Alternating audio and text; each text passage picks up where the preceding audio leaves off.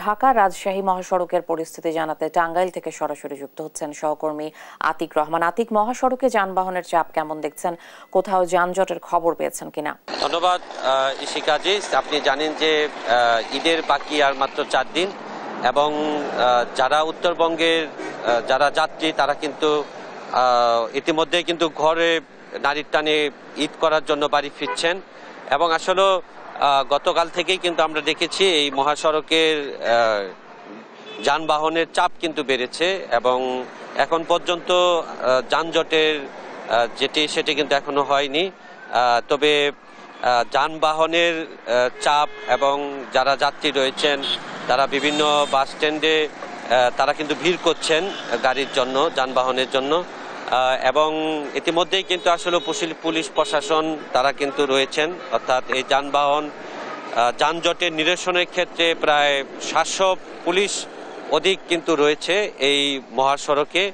এবং যেটি আশঙ্কা করা হচ্ছে যে এই মহাসড়কের যে এলেঙ্গা থেকে বঙ্গবন্ধু সেতু পূর্ব পার পর্যন্ত এই তেরো কিলোমিটার কিন্তু আসলে একটি যানজটের সংখ্যা বেড়ে যায়।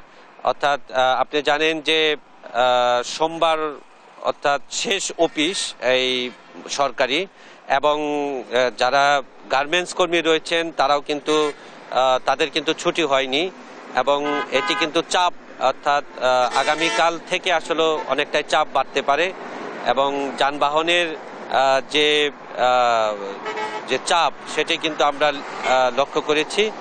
আর এই মুহূর্তে আসলে যেটি যে মানুষ যে পরিমাণ আসলে এবার ঈদের ঘর মানে ফিরবেন, যেহেতু দীর্ঘ ছুটি রয়েছে এবং এতে কিন্তু আসলে অনেকটাই শঙ্কা রয়েছে যে এই মহাসড়কে তেরো কিলোমিটার যানজটের।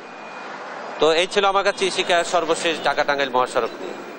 আতিক, অনেক ধন্যবাদ আপনাকে। ঢাকা টাঙ্গাইল মহাসড়কের সবশেষ তথ্য জানছিলাম সহকর্মীর কাছে।